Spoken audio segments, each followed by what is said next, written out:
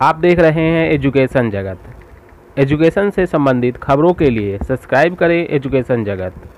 कल 5 सितंबर, शिक्षक दिवस के उपलक्ष्य में बिहार शिक्षा विभाग का कहना है, विभाग व्यवस्था करता है, शिक्षा तो शिक्षक ही दे रहे हैं।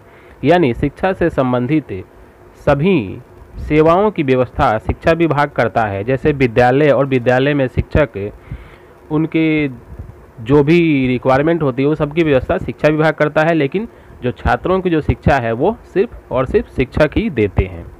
चलिए देख लेते हैं खबर क्या है। बिहार शिक्षा विभाग के अपर मुख्य सचिव संजय कुमार ने कहा कि शिक्षा विभाग व्यवस्था पक्ष देखता है।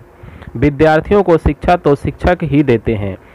शिक्षक बच्चों के बीच रिश्ते से ही शिक्षा की देता होगी। शिक्षक हमारे आदर्श हैं हमारे विद्यालय में ही सामाजिक व मानवीय मूल्य सिखाते हैं।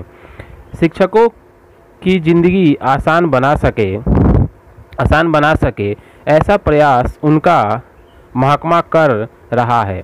उन्होंने कहा कि शिक्षक दिवस पर राज्य पुरस्कार पाने वाले दो पुरस्कार होल्डर, पुरस्कार होल्ड किया गया है।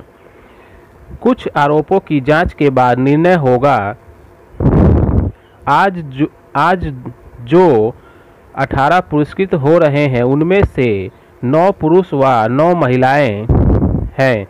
राष्ट्रीय पुरस्कार पाने वाले हरिदास शर्मा व चंदना दत्ता को भी आज ही राज, राजकीय पुरस्कार दिया जा रहा है।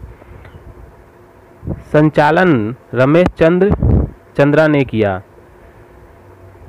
इसमें दोस्तों, जो शिक्षा है वो छात्रों को शिक्षक ही देता है, ये सभी जानते हैं, यही शिक्षा विभाग ने कहा है।